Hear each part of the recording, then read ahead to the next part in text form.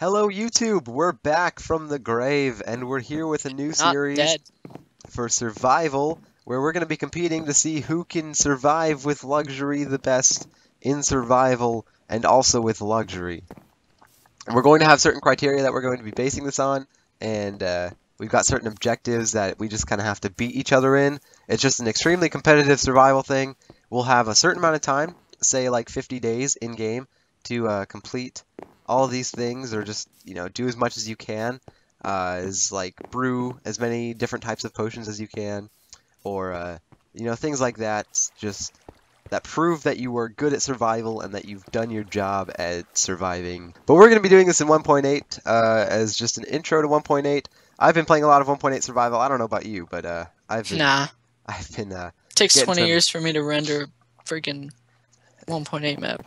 Thanks, I've- computer. I've been getting some experience with 1.8 survival. So, uh, Ah. we're gonna use our names, our uh, in-game names, as seeds for our worlds, and we're gonna see what happens. Our uh, our names are going to decide our fate in this game, and uh, yeah, that'll be interesting.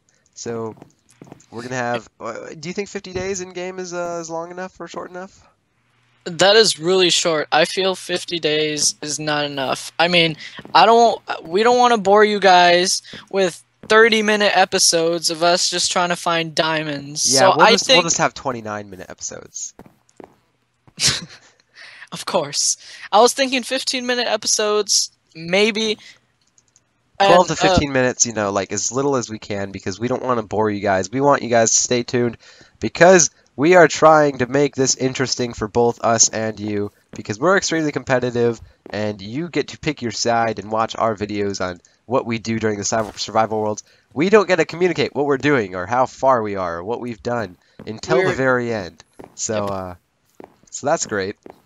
Okay, guys, so we'll see you with the actual videos of survival. Uh, Jose and I will start out on our own seeds with our names as the seeds, and we'll uh, we'll see you when we get to it. And uh, for now, that's all. freaking grass ate some of my freaking. Uh!